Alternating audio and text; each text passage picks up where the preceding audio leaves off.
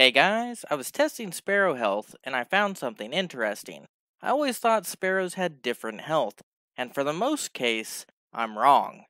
Green sparrows took the same amount of shots to destroy as rare sparrows, which happened to be the same amount as legendaries and exotics.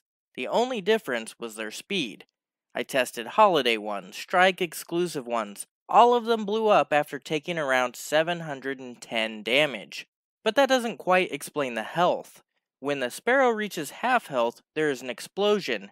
This adds 71 additional damage. So I would say sparrow health is technically 780. One sparrow had more health. Unsurprisingly, it's always on time. You know the test accounts at Bungie have always on time equipped. It's faster, but it also has more health. You can easily see that 3 shots doesn't even bring it to half health. Some would say it's the perk Stealth Running.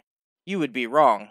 Void Streak has the same perk, but it has less health and it's slower. How much more health does Always on Time have?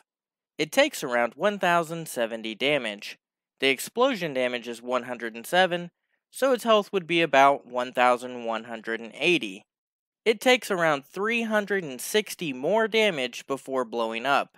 That means it's 33% stronger than every other sparrow.